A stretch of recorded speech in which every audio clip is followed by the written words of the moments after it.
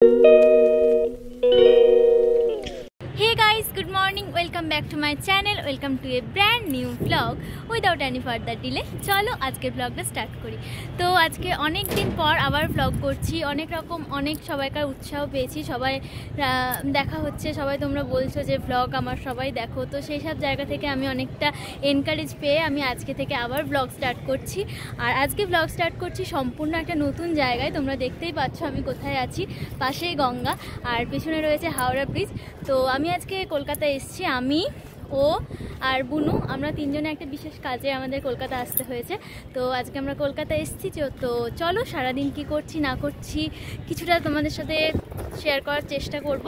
তো এখন আমরা যে জায়গাটায় রয়েছি, আমরা ফেরিঘাটে রয়েছি। খুব সুন্দর একটা ভিউ আর এত সুন্দর হাওয়া দিচ্ছে। কলকাতায় যেটা বলছিলাম, একদমই বেশি ঠান্ডা নেই। এখানে বেশ মানে ঠান্ডা রয়েছে বাট অতটা ঠান্ডা নেই আমাদের বাঁকুড়ার মতো। তো এখন আমরা পুরো গঙ্গা নদীর পাশে রয়েছি। এখানে এই জায়গাগুলোর মধ্যে কোনো একটা জায়গাতে আমাদের প্রি ওয়েডিং শ্যুটিং হয়েছিল। তো তোমরা দেখতে পাচ্ছ, দেখো হাওড়া ব্রিজটা কত সুন্দর দেখতে লাগছে জাস্ট অসাম লাগছে। তো আমরা এখন লঞ্চে টিকিট কেটেছি লঞ্চ করে ওই গঙ্গার ওপারে যাব। তো চলো, যাই। অনেক দিন পর আবার ব্লগ করছি ব্লগ চাইছি ব্লগ করতে বাট কোনো কারণে প্রতিদিন চেষ্টা করছি বাট করা হচ্ছে না।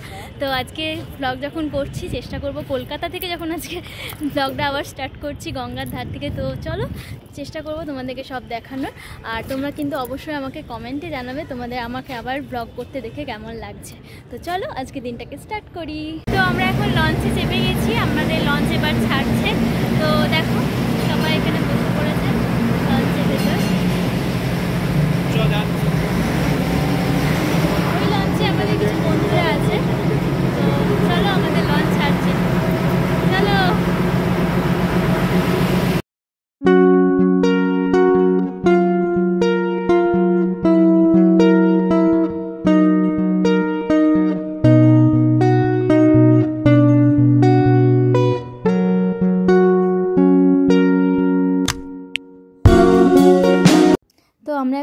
রাস্তাতে পেরোচ্ছিলাম এই রাস্তাটায় প্রচুর পরিমাণে স্ট্রিট ফুড ছিল। তো আমরা এখন ফিশ ফ্রাই ট্রাই করছি। তো খুব ভালো করেছিল ফিশ ফ্রাইটা আর এখানে আমি একটা জিনিস তোমাদের দেখাচ্ছি। এখানে মোগলাইটা একদম অন্যভাবে মানে তৈরি করা হচ্ছে। দেখো, তোমাদের জন্য ভিডিওতে দেখেছি কিছুটা। তো মোগলাইটাও খুব ভালো করছিল বাট আমরা মোগলাই খাইনি। তো আমাদের যে কাজটা ছিল, কাজটা সারা হয়ে গেছে। তো এখন আমরা লাঞ্চ করব। তো লাঞ্চের জন্য আমরা গুগলে দেখলাম যে আমাদের যেই জায়গায় আমরা এসেছি, সেই জায়গার কাছাকাছি হচ্ছে নন্দিনীদির হোটেল। তো খুব ইচ্ছে অনেক দিন ধরে যে নন্দিনীদির হোটেলে আমরা আসব। তো এখনও আমরা খুঁজছি এখনও আমরা মানে অনেকগুলো ফুটপাত রয়েছে। তো আমরা এখনও খুঁজছি, দেখছি এখনও খুঁজে পাচ্ছি না।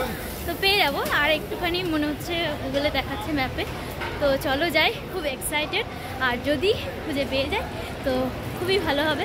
তো চলো খুঁজে পাওয়াটা মুশকিল নয় বাট আমরা তো একদমই আননোন তো সেটার জন্য মানে আমরা বাঁকুড়া থেকে যেহেতু আসছি একদমই আননোন আমরা তো সেজন্য আর যারা এখানে থাকে তাদের জন্য খুঁজে পাওয়াটা কোনো মুশকিল ব্যাপার নয়। তো চলো যাই কোনটা এইটা ওয়াও ফাইনালি আমরা দেখতে পেয়ে গেছি নন্দিনীদিকে চলে এসেছি নন্দিনীদির হোটেলে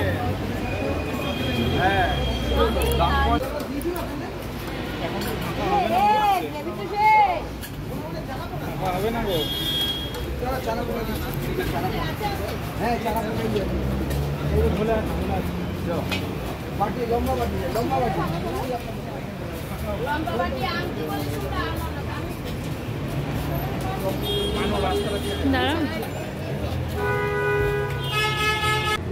দিদি, তুমি বাঁকুড়া কবে যাবে?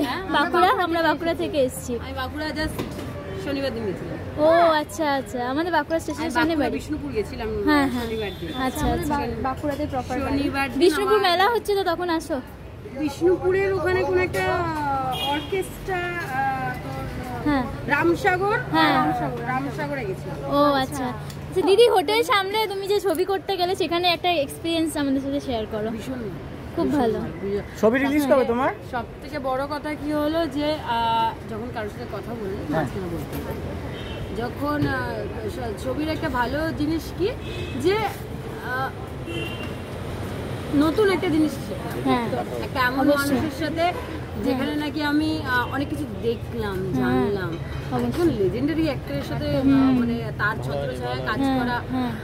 তো এটা আলাদাই একটা হ্যাঁ তখন হোটেলটা কীরকম ভাবে সামলাতে? মানে যখন ওখানে শুটিং এ থাকতে। আগাগোড়া, আগাগোড়া যেমন আমার সবসময় আমার সাপোর্টার আমার বাবা। হ্যাঁ, আগেও যখন আমি বাইরে যখন আমাকে কেউ চিনতো না যখন আমি দোকানদারি করে তখন আমি বাইরে যেতাম হ্যাঁ। গুজরাটে যেতাম। আমি হ্যাঁ। গুজরাটে চাকরি করতাম। হ্যাঁ। তো গুজরাতে যখন চাকরিতে যেতাম তখন আমার বাবা সামলাতো। বাবা মা সাপোর্টিং হলে আর কিছু দেয় আমার আগে না বা- বাবা মা আমার হ্যাঁ।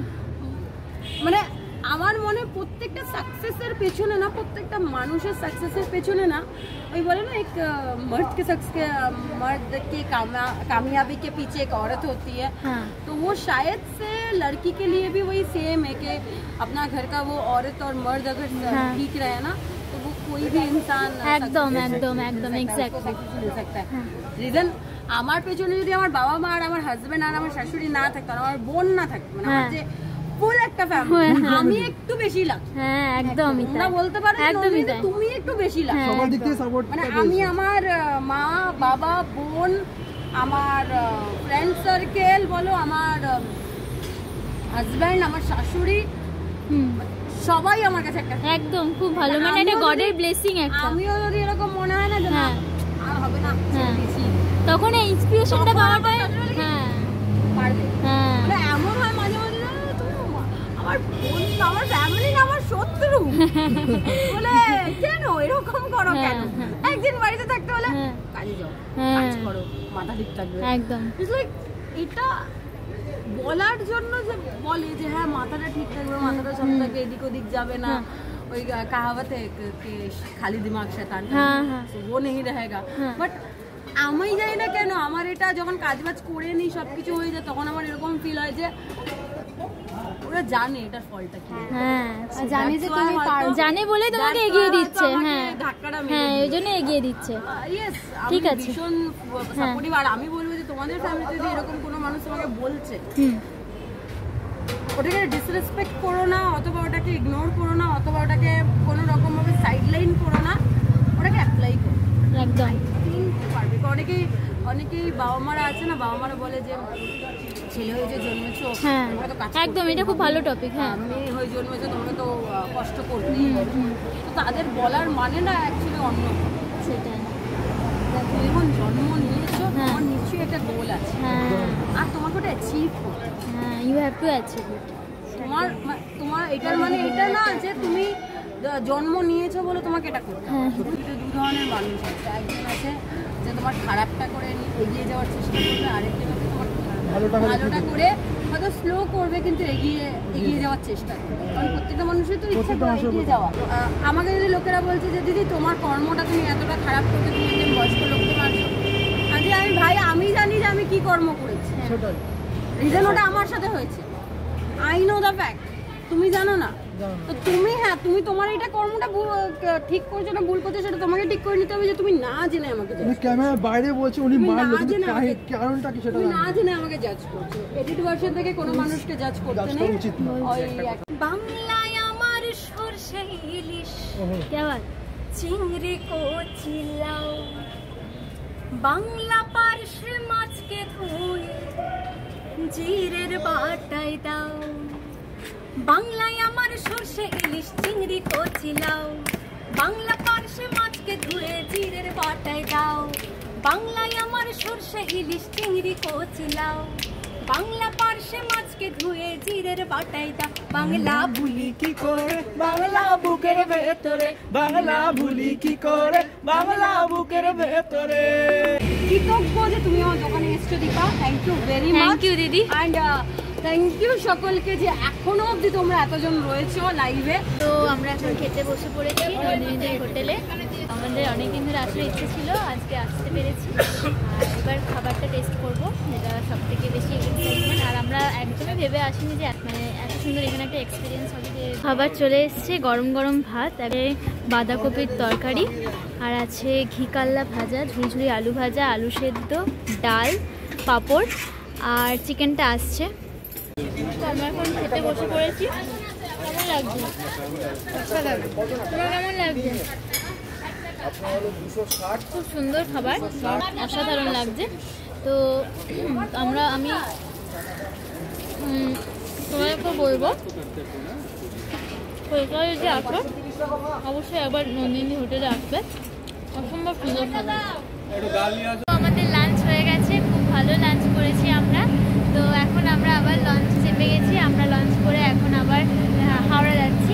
তো আমরা পুরুলিয়া এক্সপ্রেসে আজকে বাড়ি ফিরবো। তো চলো যাই। আর আবার সেই লঞ্চেই যাচ্ছি। আর এত সুন্দর এখন পুরো বিকেলের পরন্ত রোদ। তোমরা দেখতেই পাচ্ছ আমার মুখের উপর রোদটা পড়ছে। আর খুব ভালো লাগছে একটা। আর তোমাদেরকে একবার গঙ্গার ওপাশে ভিউটা দেখাচ্ছি।